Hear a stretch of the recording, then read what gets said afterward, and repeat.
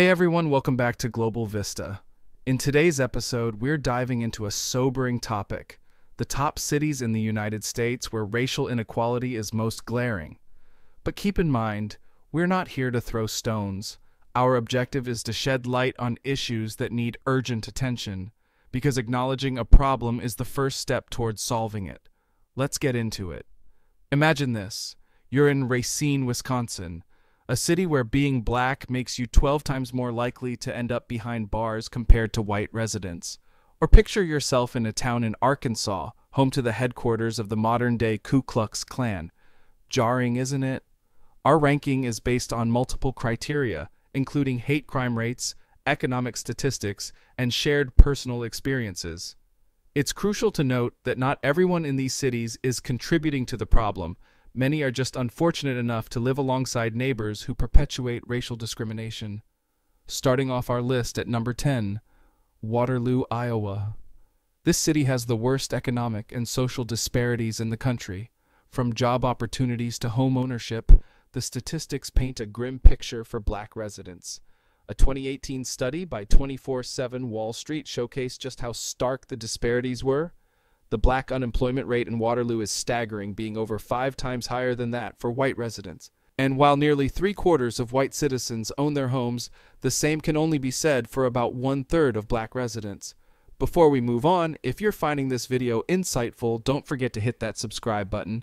We'll continue bringing you impactful content like this. Now, back to the list. At number 9, we have Trenton, New Jersey. Racial profiling is rampant here, with unarmed black citizens becoming victims of police brutality. During the COVID 19 pandemic, racial disparities in healthcare outcomes were particularly glaring, further emphasizing the systemic nature of the issue.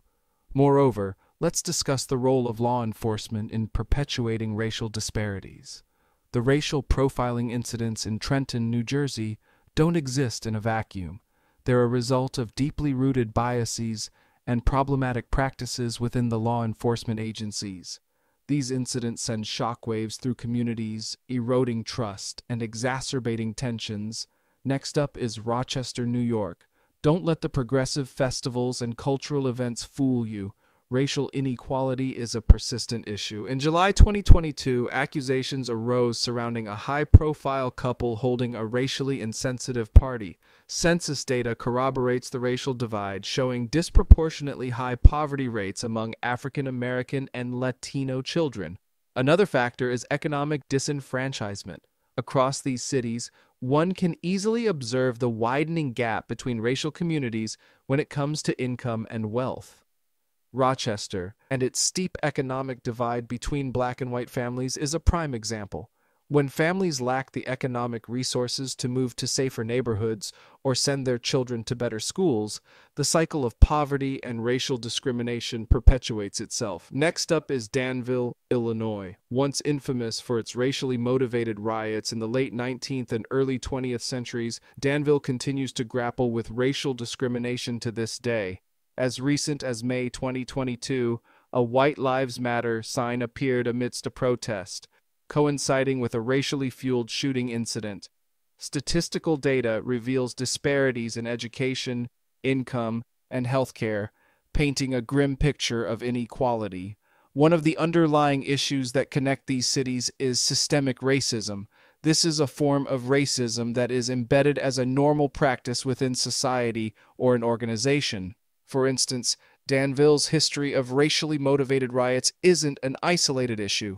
It reflects a deeply ingrained culture of racial discrimination that has seeped into educational systems, employment practices, and even healthcare delivery. Fresno, California takes the sixth spot. It's the fifth largest city in California, but it holds an unfortunate record. Over two decades, a staggering 76% of all reported hate crimes in Fresno County occurred within the city, primarily fueled by racism. In cities like Fresno, hate crimes are not just statistics, they are lived experiences that severely impact communities. It is important to recognize that each reported hate crime represents a shattered sense of security for the victim and the community they belong to. The psychological toll can be far reaching, affecting mental health and well being for years to come. Moving on, we have Peoria, Illinois. In this city, a racial divide is evident. particularly in the South Side, where low-income residents primarily reside. Only 32.6% of black residents own their homes, compared to 76.1% of white residents. But there's a glimmer of hope. The Joint Commission on Racial Justice and Equity is actively working to address these issues. It's also vital to highlight efforts aimed at improvement. For example, the activities of the Joint Commission on Racial Justice and Equity in Peoria are commendable. Acknowledging that a problem exists is the first step toward meaningful action, and organizations like this are crucial for steering these cities toward a more equitable future. Now, Harrison, Arkansas, once a sundown town, continues to make headlines for all the wrong reasons. The modern-day Ku Klux Klan has its headquarters just a 20-minute drive away, and racial inequality is reflected clearly in census data. Racine, Wisconsin is especially problematic. Not only are black residents 12 times more likely to be incarcerated, but school-aged children of color face harassment and discrimination regularly, making Racine an extremely challenging place for non-white residents to live.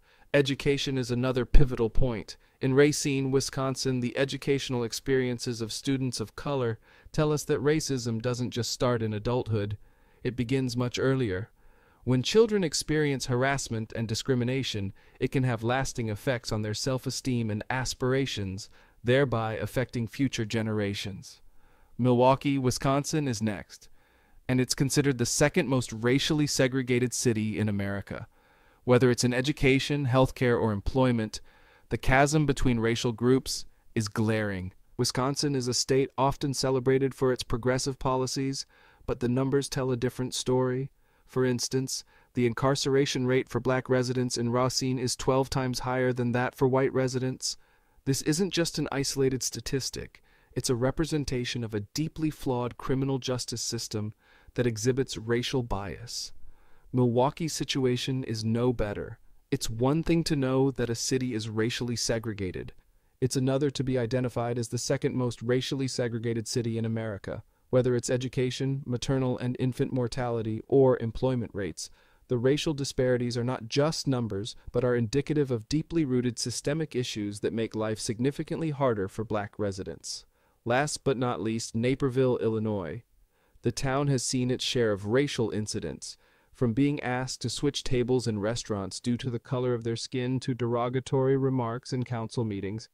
Even today, the city exhibits economic disparities that disproportionately affect minority groups. One of the incidents that brought Naperville's racial issues to the forefront occurred in 2019 at a Buffalo Wild Wings restaurant. Black patrons were asked by an employee to change tables because a white customer felt uncomfortable sitting next to them. It's disheartening to think that in today's age, the color of one's skin can still determine where one can sit in a restaurant. Just a year later, during a council meeting in 2020, an individual used derogatory terms to describe Naperville's Asian residents, further highlighting the underlying racial tensions within the community. These incidents are not isolated, they represent deeper issues that stem from systemic factors. That wraps up today's deep dive. If this video resonated with you, please give it a thumbs up and subscribe for more thought-provoking content. Together, we can build awareness and inspire change.